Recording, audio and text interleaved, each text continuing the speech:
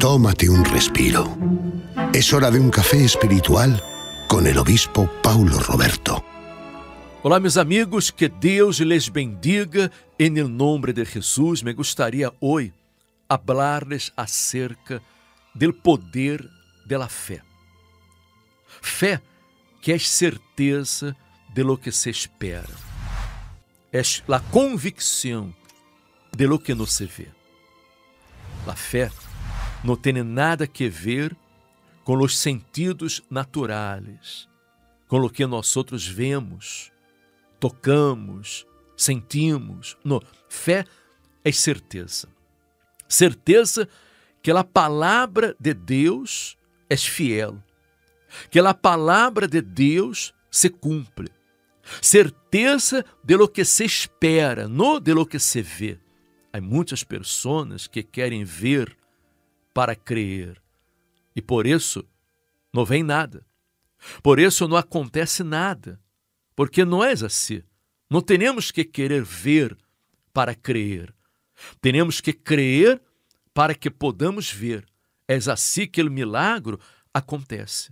É assim que Deus nos ensina em sua palavra. E Jesus, uma ocasião, quis dar a seus discípulos e a todos nós outros uma enseñança muito importante acerca do poder da fé. Disse que quando Jesus saiu de Betânia, ele teve hambre e ele viu uma higueira que tinha hojas e foi a ver se talvez hajaba em ela algum fruto. E quando chegou, não havia nada não tinha frutos, só tinha hojas. E naquele momento, Jesus maldijo aquela higueira. Jesus disse: Nunca, jamais coma nadie fruto de ti.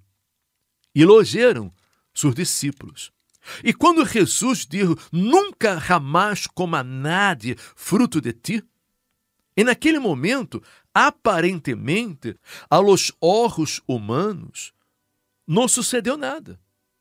Os discípulos escutaram estas palavras de Jesus e se quedaram callados, não, não perguntaram nada, não disseram nada, pero se quedaram pensativos. E Jesus se foi. Pero ao dia seguinte, por la manhã, Jesus passou por aquele mesmo lugar para dar-lhes este exemplo acerca da fé. E quando passou por la manhã, viram que a higueira se havia secado desde las raízes. Então Pedro, acordando-se, lhe disse: Maestro, mira, a higueira que maldijiste se ha secado. Ele se quedou admirado, porque havia escutado quando Jesus maldijo a higueira e aparentemente não havia sucedido nada. Ele chamou a atenção quando viu que a higueira estava seca. E Jesus lhes disse: Tenede fé em Deus. Nossa fé tem que estar em Deus.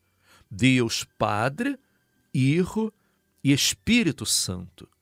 Há muita gente que diz: ah, o importante é ter fé em alguma coisa. O importante é crer em alguma coisa. Alguma coisa não vai resolver o problema. Não, não vai resolver. Ter fé em uma religião, em uma igreja, em uma filosofia de vida, em um sacerdote, um pastor, um obispo, isso não vai a resolver o problema. A fé tem que estar em Deus, unicamente em Deus, porque Ele é Senhor, Ele é o Todo-Poderoso. Incluso muitas vezes sucede que alguém chega ao centro de ajuda cristiano com muitos problemas, muita gente chega aqui sofrendo muito, enfermas, pedindo ajuda em oração, e quando vamos atender às pessoas, há pessoas que às vezes dizem ao bispo, eu tenho muita fé em você, ajuda-me em oração para que resolva este problema. E eu digo, não, não, por favor, senhor, não tenha fé em mim, não. Porque se você tem fé em mim, você vai sair pior que você entrou. Porque a fé não tem que estar em el bispo, em el pastor, não, a fé tem que estar em Deus.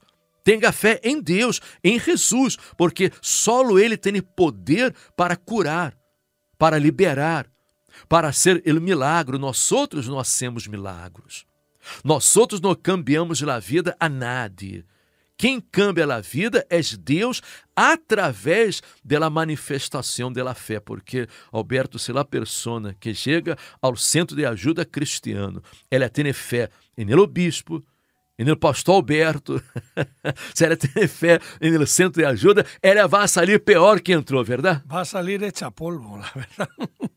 La verdad es que va a salir hecha polvo.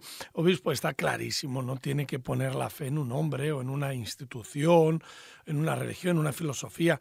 Tiene que ponerla en aquel que puede salvar, aquel que salva, aquel que es grande, que es poderoso, que es Dios. Y esta ha sido la causa por la que mucha gente además ha tenido muchísimos problemas y se ha sentido defraudada, porque en lugar de poner su fe en Dios, la ha puesto en los hombres o en cualquier cosa.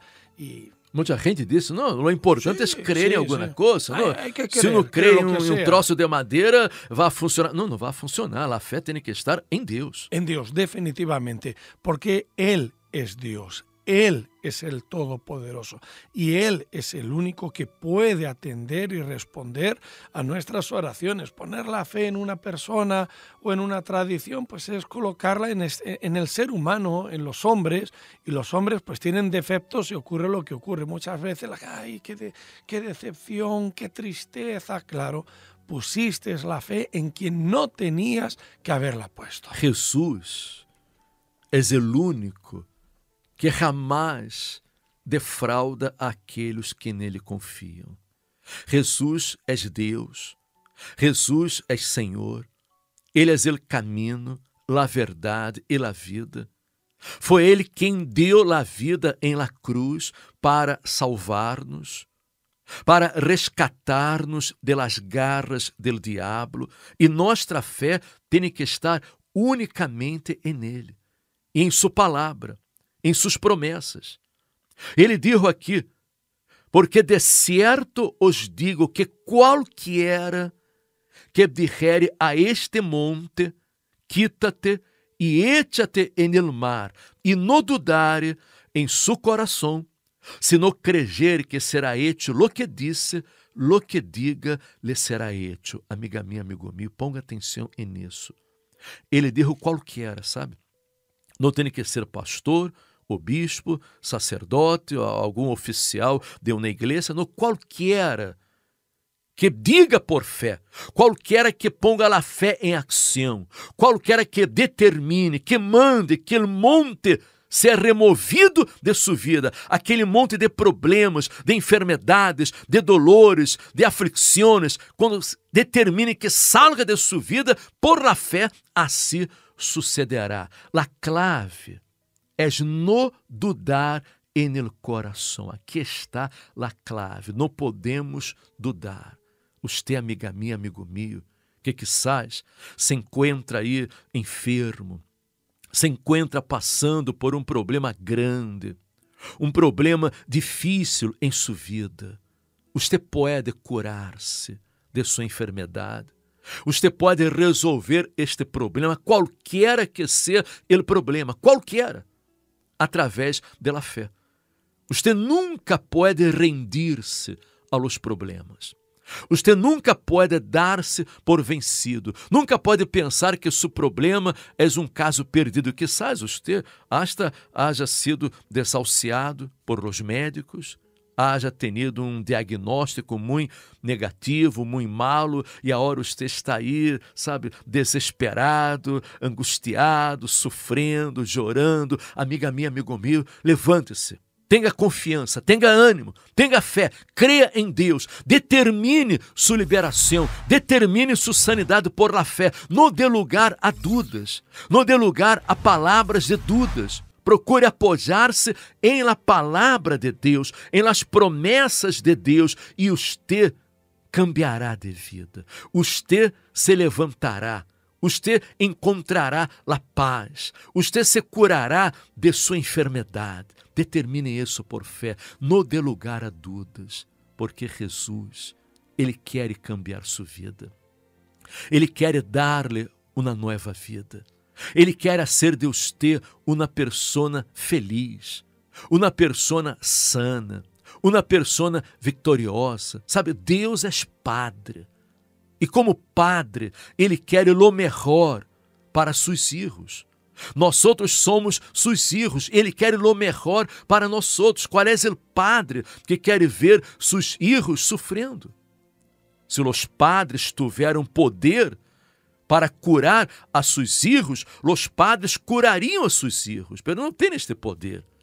Muitos padres, não se puderam, sacariam a enfermidade do corpo de seu filho e pondriam em seu próprio corpo, sofreriam em lugar del hijo. Muitas vezes escutamos uma madre dizer: ah, é, sucedeu isso com meu filho, ele tem esta enfermidade, por que não sucedeu comigo, por que não aconteceu comigo? Porque os padres, eles querem o melhor para seus filhos, eles não querem ver os filhos sofrendo.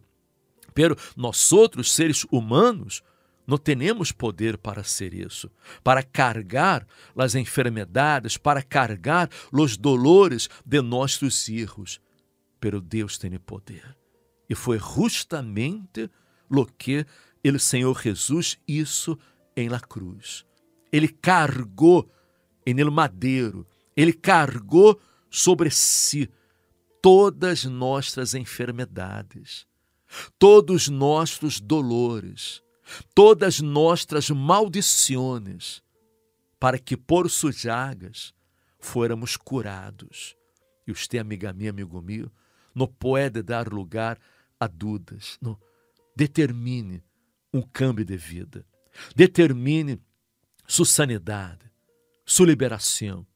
Jesus disse qualquer que derrere a este monte, quítate e échate en el mar, e no dudare em su coração, no dude em su coração. Se no creyere que será hecho lo que disse, lo que diga, lhe será hecho. Lo que usted diga, lo que usted determine por fé, assim sucederá em nome de Jesus. E me gostaria incluso invitar-lhe, você que está enfermo, você que está sofrendo, você que tem um problema grande, grave, um problema familiar, qualquer que seja o problema, este domingo estaremos às 10 da manhã aqui no Centro de Ajuda Cristiano, invocando o poderoso nome de Jesus em seu favor. Venga com fé, venga determinado, vamos a remover estas montanhas de problemas, este mal que lhe aflige, que lhe agobia, você será livre por el poder de Deus. 10 da manhã, aqui em Passeio de Santa Maria de la Cabeça, número 12, cerca da estação da Totia Renfe. Estamos justo la entrada do túnel de Passeio de Santa Maria de la Cabeça, a la mano direita, você já verá de Centro de Ajuda Cristiano. Por la fé, sua vida cambiará em nome de Jesus. E se este mensagem lhe ha ajudado, lhe ha fortalecido, comparta com seus amigos e familiares. Você pode dar um me gusta aí para que outras pessoas também sejam alcançadas com a palavra de Deus. E amanhã regressaremos aqui com o café espiritual. Hasta amanhã.